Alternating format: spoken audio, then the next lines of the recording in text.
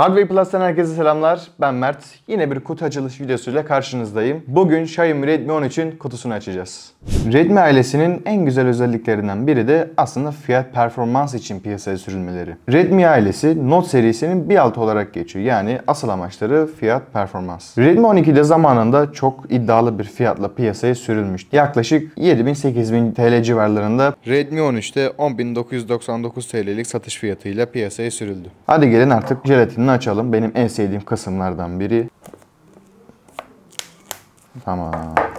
Gelelim kutu tasarımına. Şimdi bize ön yüzeyde Redmi 13, alt kısımda da 108 megapikselli Super Clear kamera yazısı bize karşılıyor. Onun altında da hemen 33 wattlık fast charging dediğimiz hızlı şarjlık bir mevzusu olduğunu da söylemiş. Gelelim sol tarafa. Tekrar bir Redmi 13 yazımız 5030 mAh'lik bir bataryası olduğunu söylüyor. Artık Meretek Helio G91 kullanıyor. Redmi 13 biliyorsunuz eski serisinde de G88'i kullanıyordu. Yukarıdaki kısmımız boş. Sağ tarafa geldiğimizde de Altuna 79 inçlik bir ekran olduğunu, 90 Hz desteklediğini, arka kısmının da cam bir yüzeyle tasarlandığını söylüyor bize Xiaomi. Gelin isterseniz artık kutusundan telefonumuzu çıkaralım. Evet görmüş olduğunuz gibi bir adet hem kılıfımızın hem de garanti belgemizin bulunduğu bir kap çıkıyor. Size böyle gösterelim garanti belgemiz. Bir adet şeffaf kılıfımız. Redmi 12'ye göre aslında ilk farklarından birisi de bu. Eskiden Redmi 12 mat bir kılıfla geliyordu. Şimdi ise şeffaf bir kılıf tercih etmişler. Gelelim telefona. Telefonun kendi poşetinde kısaca özelliklerinden bahsedilmişti. 108 megapiksellik Super Clear kamerası, arka yüzeyin cam olmasından bahsediyor. 33 wattlık hızlı şarj, 6.79 inçlik bir ekran,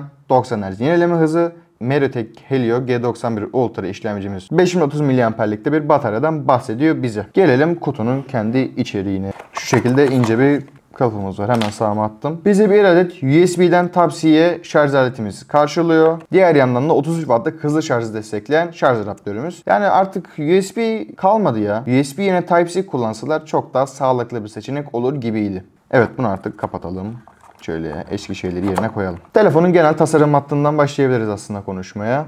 Şöyle hemen ön yüzüne baktığımız zaman yukarıda bir tane yuvarlak küçük bir ön kameramız olduğunu görüyoruz. Bu Redmi 12'de de vardı. Bu alt çentiği nedense birazcık kalın geliyor gözüme. Onun haricinde sağ tarafına baktığımız zaman ses düğmemiz, güç düğmemiz. Yukarı kısma geldiğimiz zaman benim bayıldığım 3.5 mm'lik jack girişimiz. Aşağı kısmına baktığımız zaman hoparlörümüz, Type-C girişimiz. Sol kısımda ise sim girişimiz var. Arka kısmına baktığımız zaman iki adet kameramız, sol altta Redmi yazımız ve sağ altta da belli sertifikalarımız var. Bu arada sağ tarafta dikkatimi çeken bir şey var. Made in Türkiye yazıyor. Yani bu telefon aslında Türkiye'de üretilmiş bir telefon. Genel tasarım hattı bu şekilde. Kenarları bu kareli dediğimiz düz bir şekilde tasarlanmış. Benim aslında hoşuma giden bir tasarım şekli yuvarlaktansa. Bizi Xiaomi HyperOS işletim sistemimiz karşılıyor. Buradan devam diyebiliriz. Türkçe dedik. Türkiye. Buradan hızlı bir şekilde kabul ediyorum. Sim kartını şimdilik atlıyorum. Devam ediyorum. Hemen Wi-Fi'yi de atladık. Kabul ettik. Telefonumuzu hem yüzeli kilit açmamız hem de parmak izi seçeneğimizin olduğunu söylemem lazım. Şimdilik ben parmak izini ayarlayacağım hızlı bir şekilde. Desen, pin, şifre diyor. Tabii ki de doğal olarak parmak iziyle ayarladığınız zaman sizden parmak izi haricinde desen, pin ya da şifre istiyor. Biz buradan hemen deseni seçelim. Burada küçük bir uyarı yapıyor bize. Bunu anladım dedik. Buradan Mert'in M'sini yapıyoruz. Bir kez daha istiyor bizden. İleri dedik. Parmak izinizi ekleyin diyor. Sağ tarafa parmağımıza koyarak parmak izini aktif edeceğiz. Kaldırıp hemen yapalım.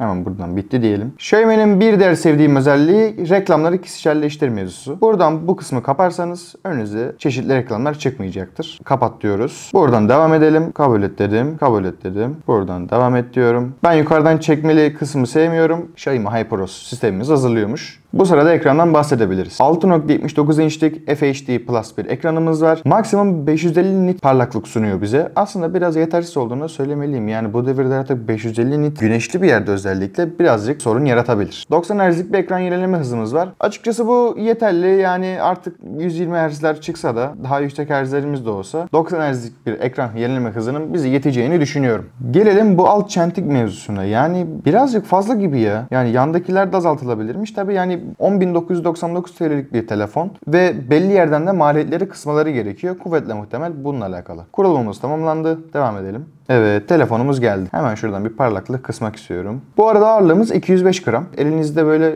yahu ben ne taşıyorum diye bir şey yok. Gayet hani ortalama bir telefon ağırlığında olduğunu söylemem lazım. Elinizde ekstra bir ağırlık kötü bir hissiyat vermiyor. Arka kısmının cam olduğunu söylemiştik. Gerçekten tasarımı çok başarılı. Görmüş olduğunuz gibi bizim elimizde altın rengi var. Diğer renk seçenekleri ise gece siyahı, inci pembesi ve okyanus mavisi. Gelelim kameralara. Kamera kısmında ise ön kamerada 13 megapiksellik 1080p 30 fps çeken bir kameramız var. Arka kısmına baktığımızda ise 108 megapiksellik süper net ana kameramız var. Redmi 12'de 50 megapiksellik bir ana kameramız vardı. Artık Redmi 13'e geldiğimiz zaman 108 megapiksellik bir ana kamera bizi karşılıyor. Video performansına baktığımızda ise hem ön hem arka kameramız 1080p 30 fps çekiyor. Açıkçası artık 60 FPS bir standart gibi oldu ya. Yani en azından 60 FPS çekmesini ben isterdim. Gelin hem ön hem de arka kameranın nasıl bir performans gösterdiğini görelim. Evet, Redmi 13'ün ön kamerasından tekrardan merhaba. 1080p 30 FPS çektiğini zaten söylemiştik. Renkler de bu şekilde. Ön kamerada yeşiller vesaire. Sizce nasıl? Beğendiniz mi?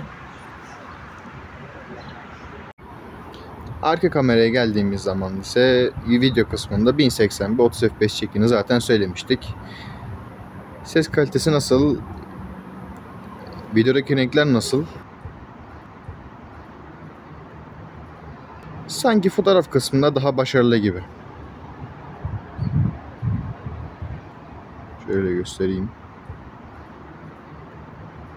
Gelelim son olarak bataryaya. Batarya kısmında ise eskisine göre 30 mAh'lik bir artış söz konusu. Redmi 12 5000 mAh iken Redmi 13 artık 5030 mAh 33 wattlık hızlı şarj desteğimiz bulunuyor. Evet bahsetmediğimiz bir şey kalmadı sanırsam. Bir hatamız olursa affola. Telefon kılıfımızı da bir takalım. Hissiyatı nasılmış bir görelim. Böyle bakalım. Oldukça sert bir kılıf öyle yumuşak değil. Bu aşağıki kısmında da telefonun Type-C şarj kısmını korumak için bir tane küçük bir kapakçık yerleştirmişler. O da güzel bir detay, başarılı. Xiaomi Redmi 13 kutu açılış videomuz bu şekildeydi. Videoyu beğenmeyi, yorum yapmayı ve kanala abone olmayı unutmayın lütfen. Kendinize iyi bakın. Görüşmek üzere. Hoşçakalın.